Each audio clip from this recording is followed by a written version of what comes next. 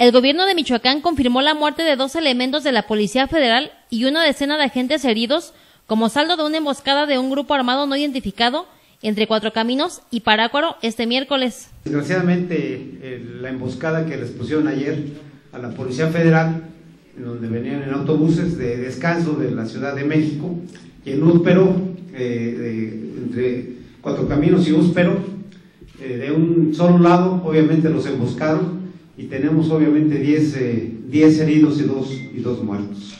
En rueda de prensa, el mandatario dijo que hasta el momento no se ha identificado a qué grupo armado pertenecen las personas que atacaron a los policías federales. Hay presuntamente indicios de, de algo, pero nosotros como autoridad pues no podemos decir parece que, sino debemos de decir es o no es. Y están en esa investigación. Informó que este ataque originó la llegada de más elementos federales a la zona y no se van a ir hasta restablecer el orden en la región. Llegaron las fuerzas federales y se van a incrementar y no van a salir como lo dijo el secretario de Gobernación. Las fuerzas federales llegaron para eh, eh, resolver el problema de una vez por todas de inseguridad en esa zona.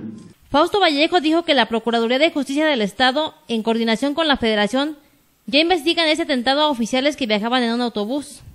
Para Cuasar TV, Sandra Sáenz.